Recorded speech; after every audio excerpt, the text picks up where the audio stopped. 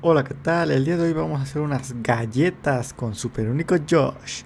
Y para esto vamos a necesitar azúcar, mantequilla derretida, harina, harina sin H, un huevo y vamos a tener que batirlo. Le agregamos un poco de vainilla, una cucharadita y lo batimos.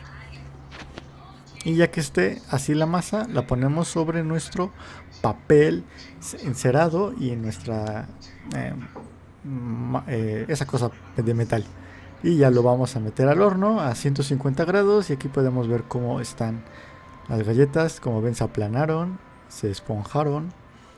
Eh, pensé que se iba a derretir las esas cosas de chocolate, pero no, no se derritió. Fantástico. Y pues quedaron muy ricas, la verdad. Muy, muy ricas. Así que suscríbete para ver más videos así.